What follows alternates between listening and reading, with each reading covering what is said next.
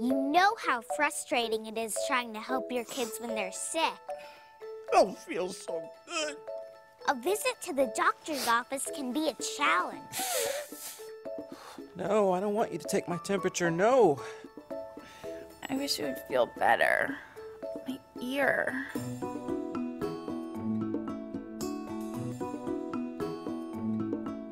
Snort, sniffle, sneeze. No antibiotics, please. As a parent, you want to help make your child feel better as fast as possible.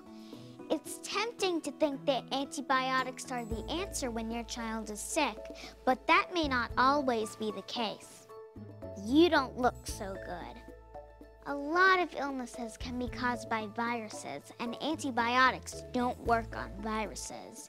In fact, antibiotics are strong medicines that can have serious side effects. I'm a doctor, but also the mother of two kids, so I've seen my share of waiting rooms like this. She's right. If antibiotics are used too often for things they can't treat, like colds, flu, or other viral infections, they can stop working effectively against bacteria when you really need them.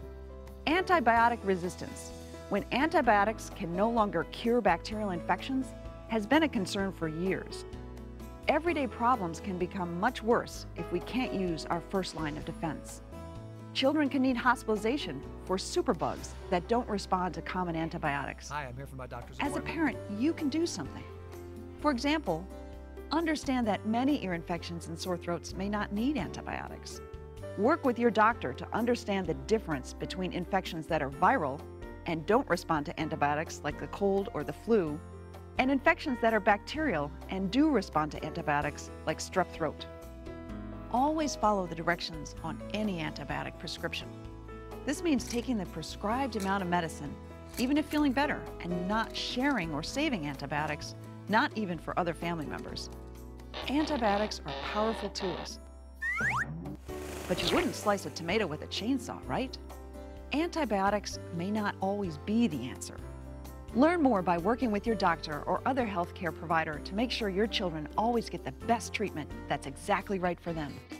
Let's see how our other doctor is doing with her patients and find out what treatments might help. Soothe a sore throat with ice chips, sore throat spray, or lozenges, but don't give lozenges to young children.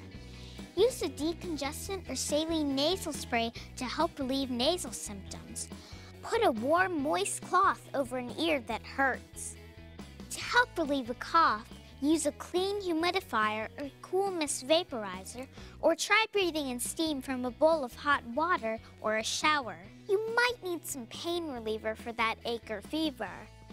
It looks like her patients are in good hands. But remember, not all over the counter products are recommended for kids of certain ages. Your pharmacist can help you make the right choice. Learn more by visiting our website. We can all get smart about antibiotics. I guess, I guess moms, moms and doctors, doctors can work together. together.